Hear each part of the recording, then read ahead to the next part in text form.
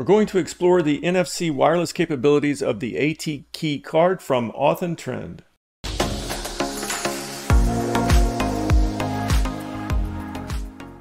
The product was received free for review.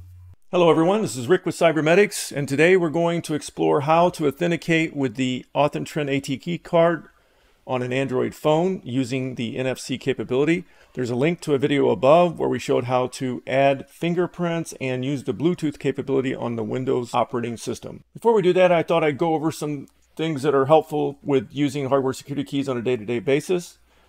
First off, here is a cable interface adapter. If you have an iPhone, this is a lightning to USB-A port adapter, and you can use it with a USB-C or USB-A adapter. With that adapter and these other little adapters, you could use basically any USB-A or USB-C key. It does not have to be a lightning port adapter to use it with your iPhone. So you can see we have some YubiKey, Feitian, uh, AuthenTrend.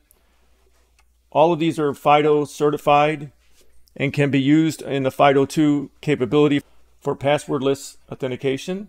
My go-to key has been this AuthenTrend biometric key. They've done a tremendous job in implementing it. It also comes with a silicone jacket that you can put on your keychain and carry it with you on your keys. Today we're going to dive right in on the Android phone and show you how to use the card for NFC authentication as a hardware security key. The first thing you'll do is go to settings on your Android phone, select manage your Google account. Once you're in manage your Google account, there'll be a security tab Select the security tab, scroll down until you see security keys. Click on security keys. At that point, you'll probably be asked to re-authenticate to your account with your password. It's showing a list of security keys that are presently on the account.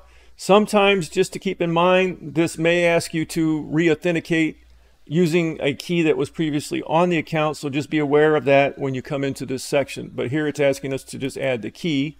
What we're going to do is select physical key. Down at the bottom next, it says use your security key with Google. So we'll say get started. And here we want to use an NFC key. So what I'm going to do is turn on the AT key card and then press the button again. It'll go into a rapid flashing blue light. At that point, you can put your finger on there and authenticate to the fingerprint. The NFC reader is on the back of the phone. It says now remove it. And you give it a name. AT key card.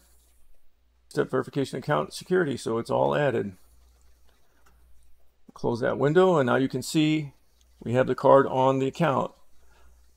The next time you go to log in on the account, on a device that hasn't been previously authenticated, it will ask you for the security key. In closing, we'll just recap with the card. You turn it on, push the button once, push it again.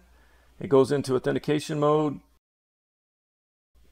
Put your fingerprint on there and authenticate to the card. At that point, you just hold it to your device and it will authenticate using the AT key card through NFC. That's a wrap on how to use the AT key card through NFC for hardware security key authentication. Please share and like our content that supports our efforts in helping others with technology and have a great and wonderful automation day.